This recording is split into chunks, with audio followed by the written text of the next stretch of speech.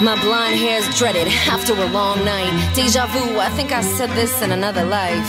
In another form, I was a witch, a slave, the master. My crown adorned was sexually repressed. Look at the popularity of porn. And everything we eat is metagenetically processed corn and chicken.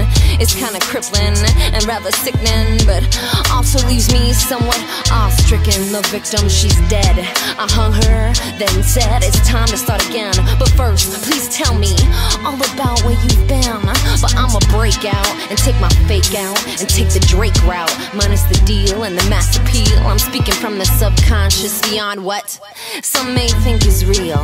I will insinuate, communicate, and elevate until everyone has freedom they can celebrate.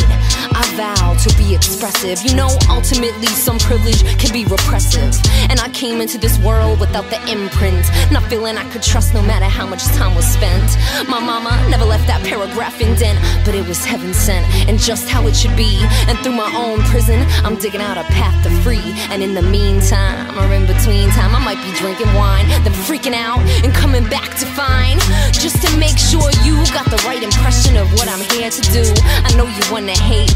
Or date rape me or make fun or call me flaky, but just consider a book falls apart without its cover.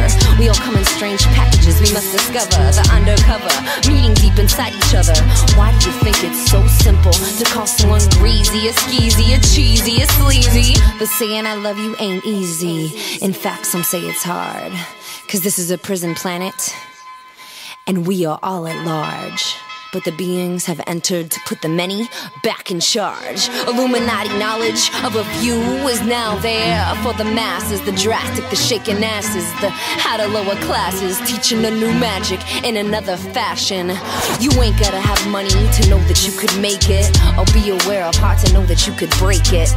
My impatient being will not allow for dreaming without evidence. Know that I tested it and measured it and then went back to retether it. I promise, just consider all these things, all the joy that it could bring to free yourself from past strings.